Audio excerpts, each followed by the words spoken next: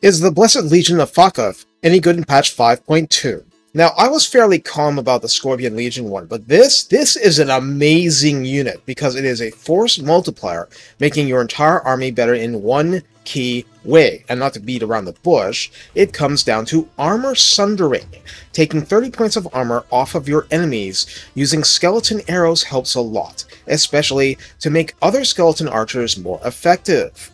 Going back to the beginning, the hit points and other base stats are largely the same as the skeleton archers.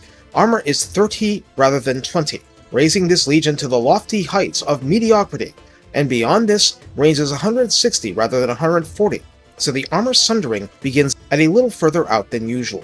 This does not outrange crossbowmen, but can be a nasty surprise for some missile troops.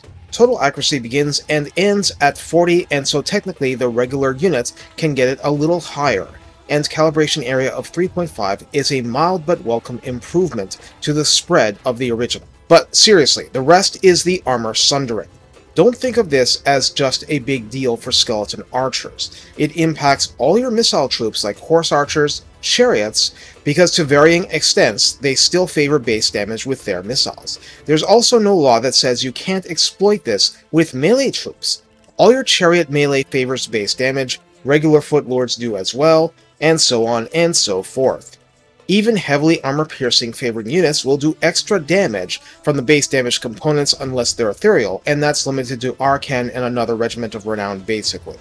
So grab this Regiment of Renown and slot it into pretty much anything, and watch the damage numbers climb.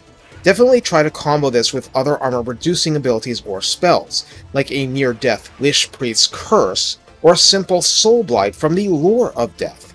Even Ushabti with great bows will do a little more damage this way, but more likely you'll rack up the damage against a Skarbrand or a Sun Dragon much faster with your more modest means.